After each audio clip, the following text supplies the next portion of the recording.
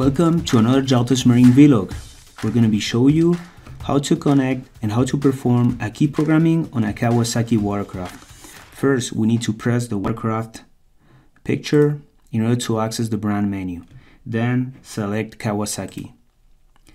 Now select the desired model and by clicking into the connector symbol will take us to the plug selection. In this case, just one option is available. We have detailed information and we have an image of the pinout detail and the connector you need. In this case, we have the JDC 600 or the JDC 213M3 that will be the adapter, the cable that's connected to the Jaltest Link interface. And then we have the diagnostics connector that's JDC 610M or JDC 610A. As you can see, we have JDC 641M. This is a special cable required only for Kawasaki. We click connect.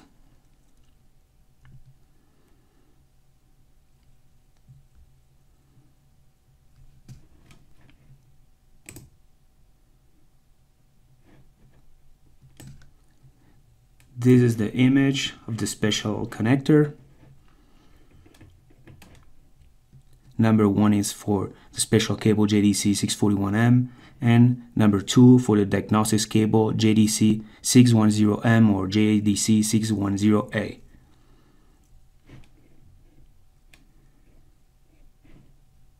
Here you will see it already plugged. Number one, special cable. Number two, diagnostics cable. Obviously now you have to connect this cable, JDC 610M or A to the adapter, either the JDC600 or the JDC213M3.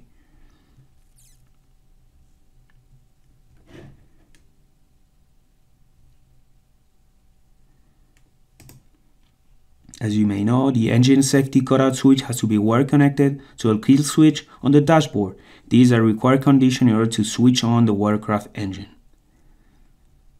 Now we can click check and we're connecting with the ECM of the system. To perform a key recording, select parameters and then keys recordings.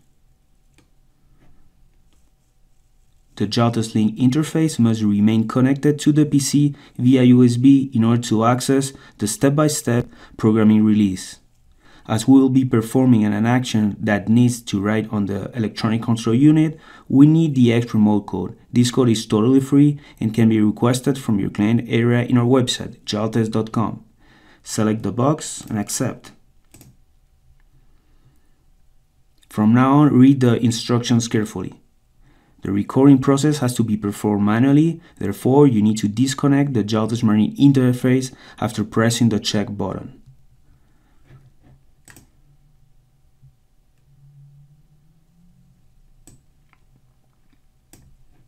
Very important, you need to know that after starting the recording process, all keys will be cleared from the memory. You should have removed the diagnosis cable JDC 610M or JDC 610A and also the special cable JDC 641M in order to restore the initial connection of the watercraft. Now insert the programming adapter, part number JDC 662M we need to insert it where the diagnosis cable JDC610M was connected previously. In this case, location number 2. Now switch on, we need a minimum of 12 volts. Then press the ignition button. If done correctly, the watercraft will go into programming mode and all keys that we wish to memorize must be available on Kawasaki up to 6.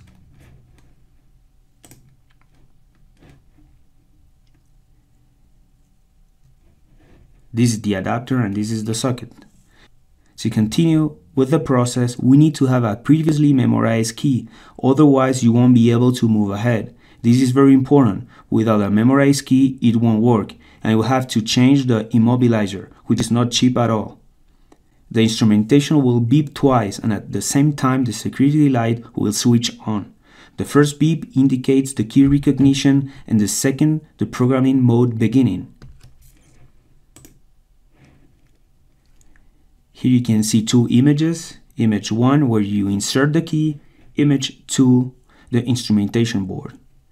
This is the red light that will flash when hearing the beeps. Now we can start recording the keys. Insert and hold key number 2 until you hear 2 beeps. Insert and hold number 3 until you hear 3 beeps. Insert and hold key number 4 until you hear 4 beeps. This same sequence is repeated until you reach a maximum of 6 keys. You have a maximum of 15 seconds between keys. If the next one is not inserted during that time, the system will close the programming mode and you have to start the process again.